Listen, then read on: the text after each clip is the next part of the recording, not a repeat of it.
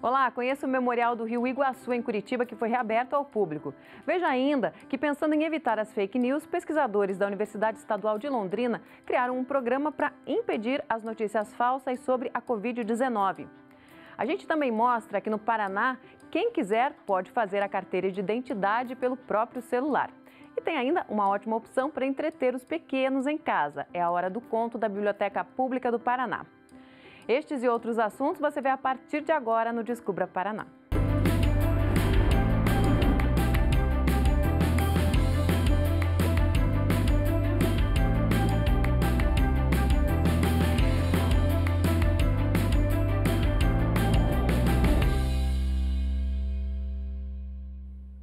Um lugar que faz a gente pensar sobre a importância da conservação dos rios. O Memorial do Rio Iguaçu, em Curitiba, foi reaberto ao público depois de ficar fechado por causa da pandemia do novo coronavírus. A visitação agora é feita seguindo as normas de segurança para evitar a disseminação da Covid-19. Cartazes informativos, aferição de temperatura, álcool em gel. As visitas foram retomadas seguindo todo um protocolo de segurança para evitar a contaminação pelo novo coronavírus. Ao chegar no local, você vai ser medido a sua temperatura, você vai passar o álcool gel na sua mão e você sempre assina um livro de presença. Aqui os bebedores eles são somente com garrafinha de água. O banheiro tem um limite de pessoas e nós estamos atendendo apenas 10 pessoas aqui no espaço por vez. No térreo do espaço administrado pela Sanepar, a Companhia de Saneamento do Paraná, exposições itinerantes, como a que mostra o funcionamento de uma estação de tratamento de esgoto quem vai até o local descobre, por exemplo, a quantidade de resíduos gerada todos os dias no estado e brinca com uma roleta que indica o que pode e o que não pode ser descartado no esgoto.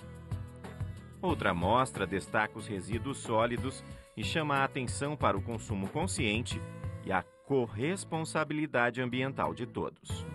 Nessa exposição a gente trabalha a separação do lixo, trabalha o consumo consciente, trabalha as diversas formas de, de destinação correta e a responsabilidade compartilhada que instituições, empresas e sociedade têm sobre esse problema.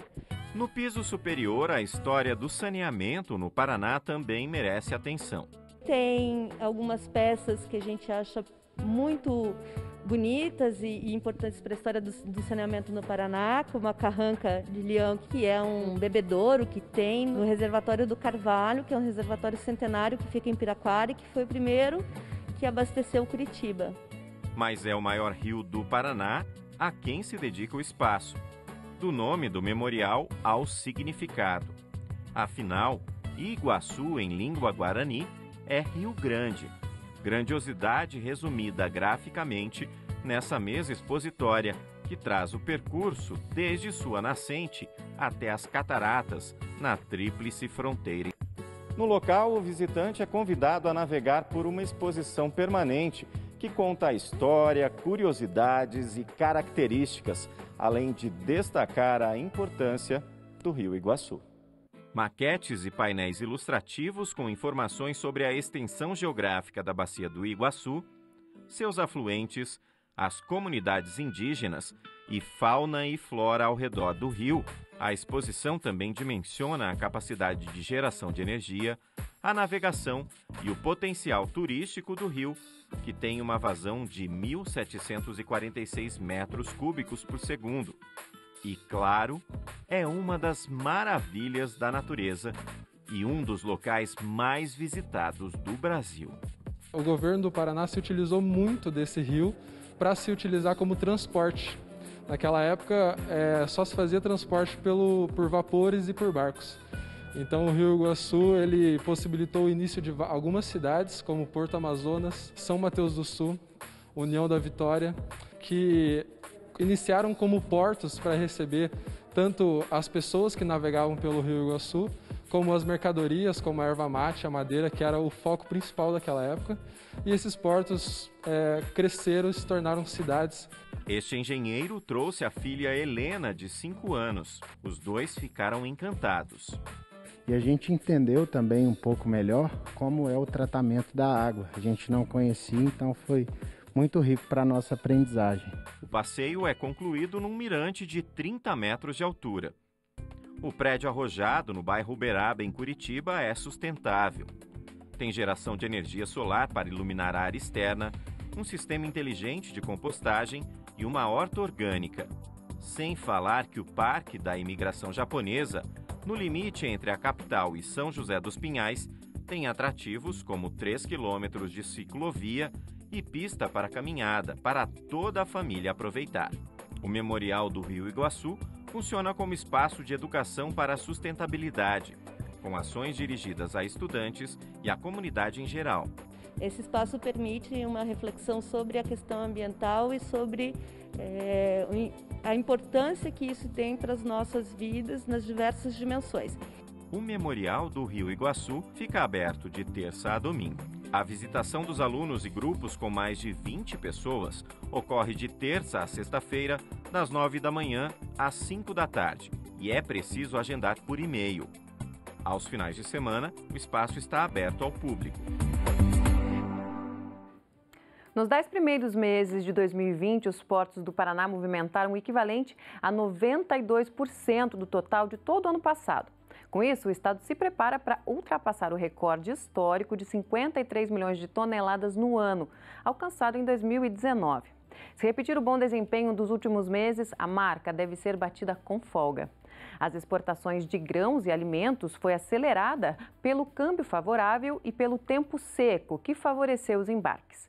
Cerca de 65% da movimentação dos portos paranaenses neste ano foram de exportação. Ao todo, foram exportados mais de 38 milhões de toneladas de carga. A soja segue sendo o produto mais movimentado nos portos paranaenses. Além do produto em grão, o óleo de soja também foi destaque. Nesse período de tantas incertezas por causa da pandemia, as fake news, que são aquelas notícias falsas, têm se espalhado super rápido e causado ainda mais receio na população. Pensando em evitar essas situações, pesquisadores da UEL criaram um programa para impedir as fake news sobre a Covid-19. Informação de qualidade continua sendo uma das maiores aliadas no combate à Covid-19. Foi pensando nisso que pesquisadores da UEL criaram o Corona I um programa que utiliza inteligência artificial para informar sobre a doença e evitar a propagação de fake news. A ideia então surgiu para criar um, uma plataforma de detecção de notícias falsas relacionadas ao Covid e ao Corona. Considerando em algumas reuniões uh, de pesquisa, em algumas reuniões da própria instituição, uh, sobre a necessidade da universidade contribuir com a, a disseminação de informações sobre a patologia, nós tivemos a ideia então de agrupar tanto informações sobre a, a, a patologia, das mais diversas, desde tratamento, máscara, uh, aglomerações, caminhadas, o que a gente pode fazer para dar dicas e também informar a sociedade. Junto a isso, algumas, algumas dúvidas que, vem, que viriam de notícias falsas, que viriam para a gente não necessariamente de uma fonte confiável. Para responder às dúvidas da população, o robô acessa bancos de dados oficiais, formados com informações divulgadas pela Organização Mundial da Saúde, o Ministério da Saúde e em artigos científicos. Bom, como é que ele funciona? Uh, um agente inteligente é uma das áreas, uh, os agentes inteligentes, né? Uh, seria uma das áreas da inteligência artificial onde ele atua em determinado ambiente reagindo a estímulos. A ferramenta funciona tanto por mensagem de texto quanto por áudio. Eu vou fazer uma pergunta agora utilizando o comando de voz. Quais são os sintomas do coronavírus? A resposta é automática. Alguns pacientes relatam coriza, obstrução nasal, dor de garganta e diarreia. E os sintomas mais comuns são febre, tosse seca, cansaço e dificuldade para respirar. Mais uma contribuição da universidade pública para a população. Então a gente alinhou velocidade nas respostas, umas respostas de forma dinâmica, a gente tem a capacidade de uh, atender de forma escalável, nós temos as informações atualizadas de fontes confiáveis e entregando isso para a comunidade de forma gratuita. Então, juntando todas essas características, eu acho que é uma uh, contribuição não só acadêmica, científica, que dá subsídios para pesquisa sobre as questões que são perguntadas, a forma de perguntar e como isso pode ajudar a avançar até as nossas pesquisas, mas também informar a população sobre as mais diversas dúvidas de qualquer lugar. Mas a pandemia também trouxe novos costumes que vieram para ficar. Fazer as atividades pela internet é um deles. E esse novo hábito já está facilitando a vida de muita gente. No Paraná, por exemplo, quem quiser pode fazer a carteira de identidade pelo próprio celular. Ir até o posto de atendimento para renovar o RG já é coisa do passado. A Polícia Civil do Paraná lançou a segunda Via Fácil, uma iniciativa pioneira no país que permite ao cidadão encaminhar uma foto do próprio celular ou do computador para fazer uma nova carteira de identidade. Antigamente, nossos pais, nossos avós ficavam a vida inteira com o mesmo RG. Porém, agora, cartórios, bancos, em vários eh, locais, empresas e até os países da América do Sul solicitam um RG com menos de 10 anos.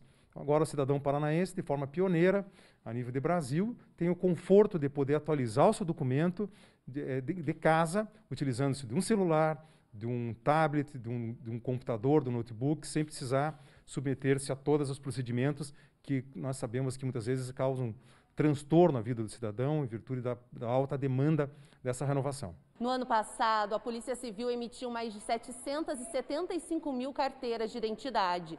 Cerca de 30% desta demanda é com a atualização da foto. Agora, com a segunda via fácil, a Polícia Civil dá mais um passo rumo à modernização do processo e espera desafogar os postos de atendimento. Basicamente, as pessoas que têm RG no Paraná desde 2012 até os dias de hoje já possuem todos os seus documentos digitalizados no nosso banco de dados. Mas postos de institutos de identificações no Estado desde 2006 já vêm sendo digitalizados os seus documentos. Então, é importante que a pessoa não se atenha à data, mas que tente fazer a segunda via no site e o site mesmo, o sistema vai reconhecer. Pode ser de 2006 para cá, mas possivelmente todas as pessoas de 2012 para cá. A segunda via da carteira de identidade pode ser solicitada pelo site do Instituto de Identificação do Paraná e custa R$ 36,72. E a foto, mesmo sendo tirada de casa, precisa seguir os padrões de segurança internacional.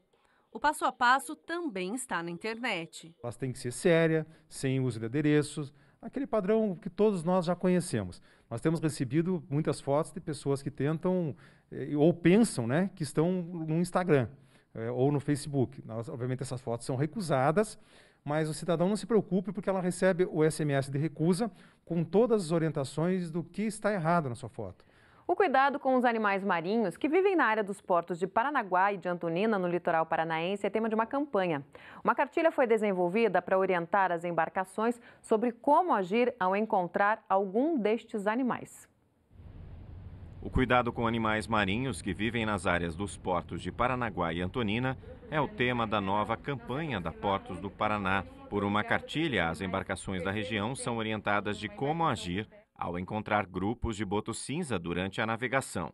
Isso porque, durante as atividades de monitoramento, foram identificados animais com pequenas cicatrizes de hélices no dorso e nas costas. E como esses animais ocorrem na área muito próxima aqui à região portuária, eles utilizam nossos berços de atracação como locais para alimentação, né, para caça, porque eles têm o hábito de é, encurralar os cardumes de peixe contra os costados dos navios então a gente identificou que esses animais estavam machucados e que precisaria de uma, uma ação de orientação para as pessoas que pilotam embarcações e que costumam frequentar aqui a região do cais.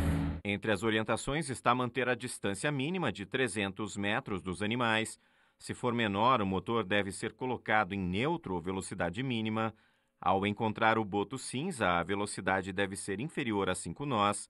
Evitar mudanças bruscas de direção, não acompanhar os botos por mais de 30 minutos e, em caso de fêmea com filhotes, não exceder 15 minutos. O boto cinza é listado pelo Ministério do Meio Ambiente como espécie ameaçada e tem status de espécie vulnerável na lista da fauna brasileira de espécies ameaçadas de extinção. O mamífero pode viver entre 30 e 35 anos e atingir 2,20 metros e, 20 pesar 90 quilos. No próximo bloco, veja que uma empresa paranaense é destaque nacional na produção de tubos e conexões. E tem ainda uma ótima opção para as crianças curtirem em casa. É a hora do conto. Não saia daí, a gente volta já.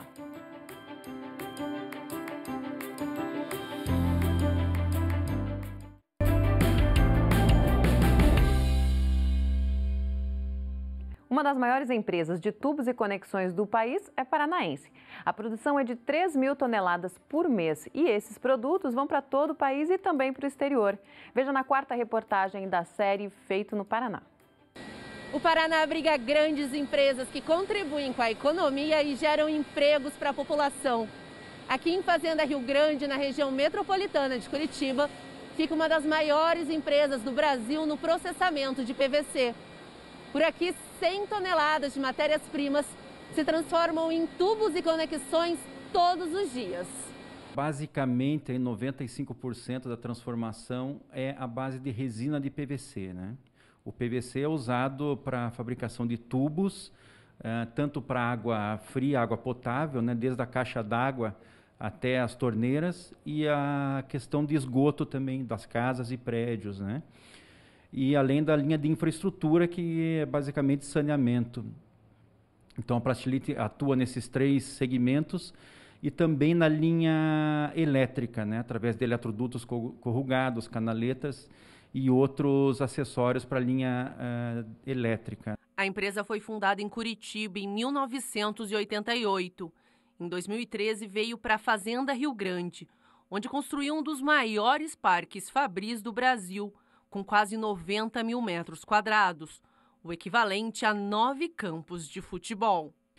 A Plastilite é uma indústria que gera é, 500 empregos diretos, Uh, ela possui 400 representantes, ou seja, 400 empregos indiretos, e mais os freteiros também, na faixa de 400 a 500 freteiros, né, de forma direta. Ou seja, uh, de forma indireta, a gente pode multiplicar esse número aí por 3 para a gente ter uma noção da dimensão da importância da plastilite no cenário do Paraná.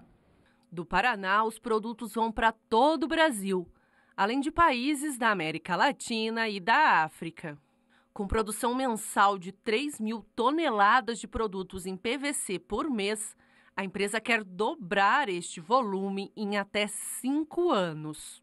A Plastilite ela tem investido bastante no seu parque industrial uh, e a gente acredita que em cinco anos uh, a Plastilite estará com um volume de, de transformação uh, um pouco mais do que o dobro, essa é a nossa projeção é, e, consequentemente, abrangendo maiores mercados também. Sempre na vanguarda das inovações, Curitiba tem também o primeiro coworking público do país. O Worktiba abriga startups, empresas de economia criativa e de impacto social. O nosso dia a dia é cada vez mais permeado por tecnologias e soluções inovadoras. E as empresas que atuam nesta área apostam na inovação também na hora de escolher um espaço de trabalho. É na capital do Paraná que está situado o primeiro coworking público do país. O Worktiba abriga startups, empresas de economia criativa e de impacto social. Maxon foi aprovado em edital público e desenvolve um aplicativo com apoio da Prefeitura. Nossa ideia nada mais é que um super aplicativo de jiu-jitsu que trabalha no desenvolvimento social através do atendimento de jovens, adolescentes e crianças na região metropolitana de Curitiba. É um projeto físico lá e nós queríamos monetizar para poder sustentar esse projeto. Então nós procuramos vários ambientes de aceleração que pudessem nos dar ideias e nós viemos modelar dentro do Worktiba Cine Passeio é, com o apoio do Vale do Pinhão e toda a comunidade de inovação de Curitiba. É nestes espaços que nascem ideias inovadoras e soluções criativas para a sociedade o Davi criou um aplicativo que facilita a vida das pessoas na hora de consumir medicamentos. A partir do momento que a pessoa compra o medicamento, ela cadastra rapidamente usando o código de barra da embalagem esse medicamento na plataforma. Ela vai poder receber alertas sobre os horários e dias de tomar aquela medicação.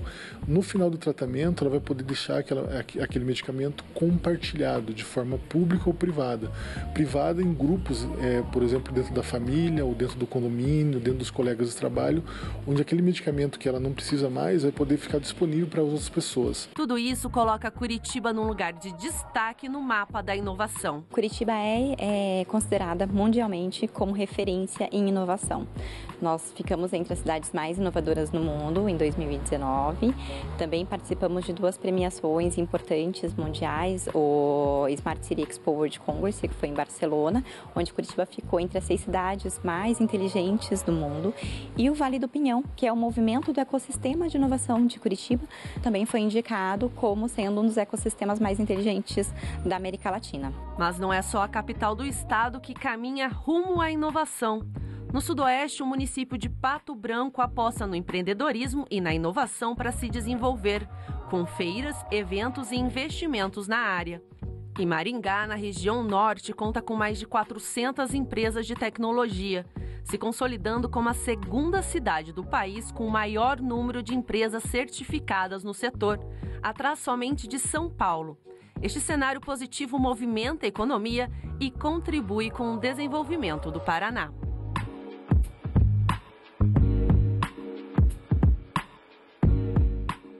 Qual criança não gosta de uma boa história, né? Uma ótima opção para entreter os pequenos em casa é a Hora do Conto da Biblioteca Pública do Paraná.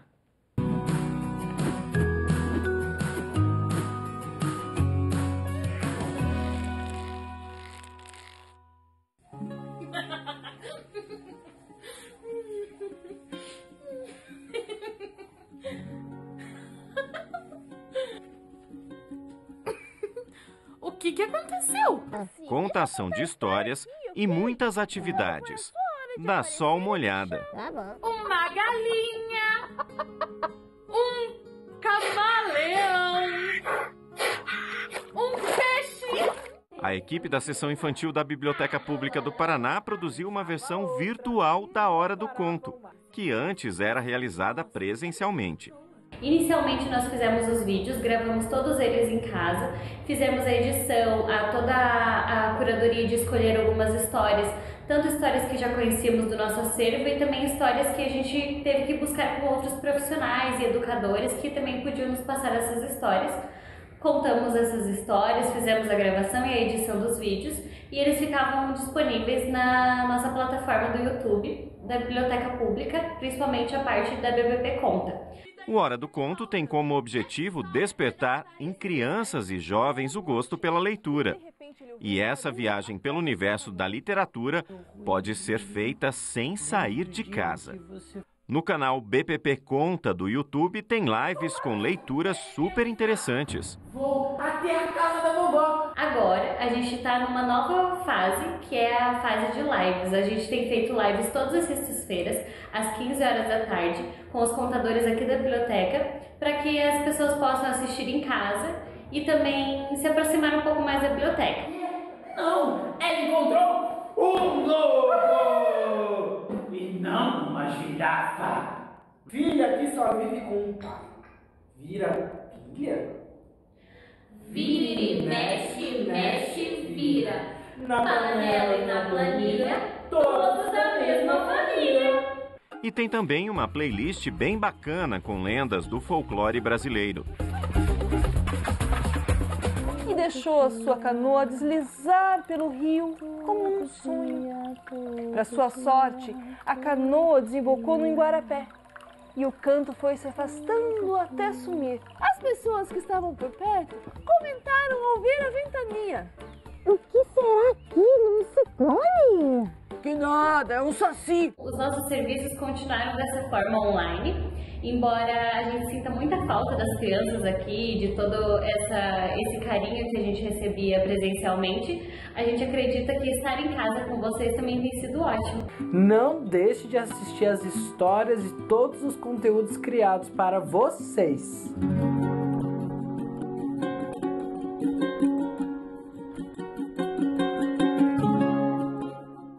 Chegou a hora de mostrar aqueles lugares do Paraná que deixaram saudade. Hoje é a Aline, de Campo Largo, que fala sobre uma aventura que fez no Recanto dos Arcos, em São Luís do Purunã. Vamos ver?